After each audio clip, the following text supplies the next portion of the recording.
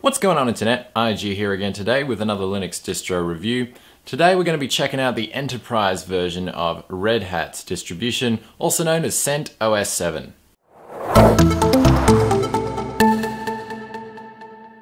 So CentOS is essentially the enterprise offering for Red Hat's Linux distribution. However, it is not branded with Red Hat in any way, although it is provided by the Red Hat community. Essentially, it is a community-driven distribution that is based on the efforts of the Red Hat Enterprise Linux distribution. So what are some key things to look for? Well, stability is going to be a big one. Also, how long is this distribution going to be maintained for? So how long will people be able to run it on their systems?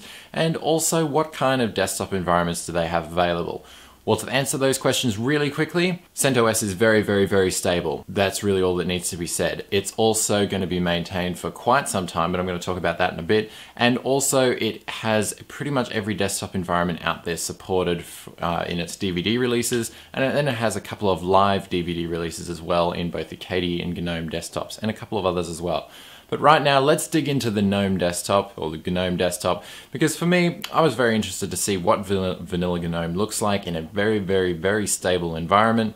So let's check it out. So this is CentOS 7, the GNOME edition, and I've logged in in classic mode as this is the default mode that it'll boot from. At least that's been my experience. Now this is the 64-bit ISO and it hasn't been updated to what the current application set is. And to be honest, there actually quite there is quite a bit of value in updating and uh, uh, upgrading all the packages in the distribution from when you first install. But as this is what you are going to get when you install it for the first time, that's what I'm going to be looking at today. Now the first thing I really need to mention is the install process itself because unfortunately it wasn't as smooth as it could have been. It is based on the Fedora installer from Fedora 17 or 18 I believe and unfortunately that version of Anaconda isn't the most user friendly out there. Uh, it has quite a few options that are hidden under uh, more simple options, and the more careless user could end up doing something quite damaging to their system.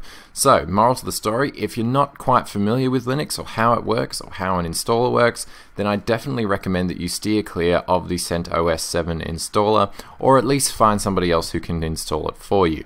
But once you're installed and up and running with, Cent with CentOS 7, then you start to see some of the benefits. The primary benefit of running CentOS is the stability. This desktop is going to be supported for a long, long time. I'm talking like 10 years.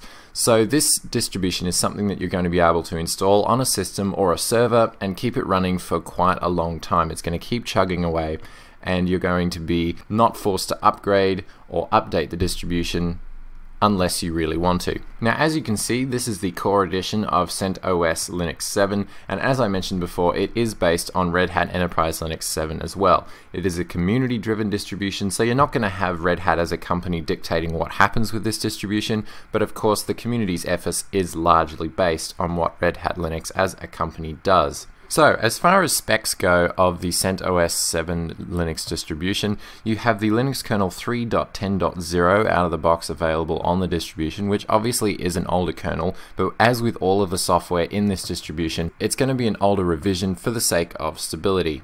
As far as your compiler and toolchain are concerned, you've got GCC 4.8.2, and as far as desktop UI goes, you have GNOME 3.8 and KDE 4.10 by default.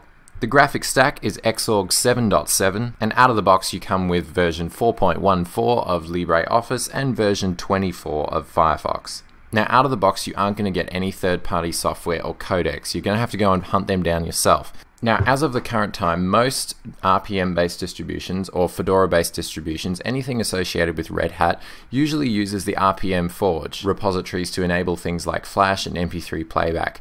At the current time, they do not have a repository yet for CentOS 7. They are working on it, and it won't be long before they do. But it is something to keep in mind if you're planning on using this distribution as your everyday machine as of the time of the release of this video. Of course, this isn't going to be a problem once they do get it up and running because those repos will be available for quite some time. Alright, with all of those ground rules out of the way, let's get down to actually what this desktop environment has to offer. To be honest, the reason I started with all the other stuff first is because there really isn't much to note here in the GNOME desktop because it is as vanilla GNOME as you are ever going to get on a Linux desktop. This can be both a good thing or a bad thing depending on your own personal preference. For me, I am not the biggest fan of GNOME. Uh, having said that, I was interested to see what Vanilla GNOME looked like nowadays, and especially in a stable form, as I have tried GNOME in the past, but usually it hasn't been the most stable performer for me out there. But GNOME 3.8 did come out a couple of years ago now, and so it's definitely had time to mature, and while it does still kind of make sense, basically I can't really get over GNOME's simplicity. It's excellent for a new user, but for users that are going to be using a distribution like CentOS 7, I kind of get the feeling that new users is not exactly their target audience. Having said that, CentOS is more about the core of the system rather than the desktop environment that they have to offer out of the box. So if you are interested in what CentOS has to offer as a distribution, in terms of the stability, the developing environment, and also the stable structure that it can give you for a lot of IT and network admin type stuff, then I think you'll find a lot to like here, but as an everyday desktop user, I do definitely not recommend CentOS 7. For starters, the software management tool that they bundle in by default is not really the most helpful, as you really need to know what you're looking for and be able to use that in a search term. They do have package collections there available, but they're clunky and they don't really work as well as they should. As far as adding repositories goes for third party software, again, that's something you'll need to be doing on the command line, along with most of your other updating, and other system maintenance. So if you know what you're doing on the command line, then you're going to feel right at home here. And the rewards are that it is very fast, very speedy, and very efficient. But if you're new to Linux or you've only been in the Linux world for a little while, then it's probably better if you steer clear and maybe try out something like Fedora, as it will give you a very similar idea and a very similar feel, but without the complexity. As far as GNOME itself goes, we've got an interesting smattering of applications here, and you really get a nice idea of what the GNOME suite offers nowadays as all of these applications, bar the Firefox web browser, are all pretty unique to the GNOME project. A lot of this software is quality software and it belongs on a Hall of Fame list of open source apps, including Cheese, Empathy, Evolution, gedit, Rhythmbox, Shotwell. All of those are quality applications and I'm glad to see their inclusion here. Unfortunately, the missing codecs and the missing Flash player for the Firefox web browser is a little bit of a downer for desktop use, as those things are pretty necessary nowadays. Of course, enabling a repo isn't that hard, but as of the current time, it is a little bit tricky as those repos don't necessarily exist yet. Of course, feel free to correct me if I'm wrong, but I wasn't able to find an RPM Forge or Repo Forge, I think it's been ported to now. The folder inclusion in GNOME Activities is a nice way to group all of those applications that you hardly ever use, and when it comes to system resources, uh, CentOS is a bit of a champ in this regard. From a cold boot, I was logging around 400 megs of RAM, and I've loaded a few things up and played around with a few things, so it's idling at 700, which obviously isn't the most ideal, and also we are chugging through quite a bit of CPU. This isn't a virtual box I might add, but on native hardware it seems to be relatively slim when it comes to the amount of resources that it uses. Of course, the system monitor says otherwise at the moment, so I guess you take what I say with a grain of salt. Overall, I have one recommendation and two anti recommendations.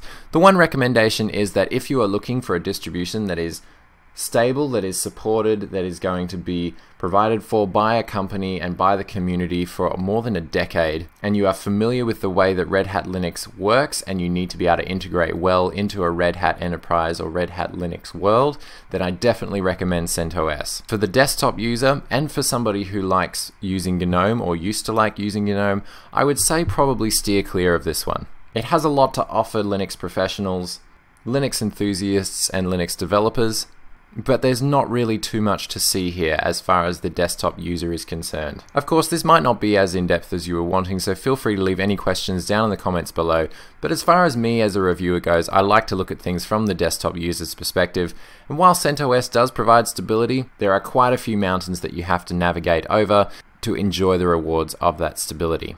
So in the end, not bad, but I think the desktop user could do better. As always, if you like this video, then definitely give it a thumbs up because it helps out the channel. And if you like this content on a regular basis, then click subscribe. In one of those corners, I can't really remember which one, there'll be a little IG thing that you can hit and you can subscribe to the channel.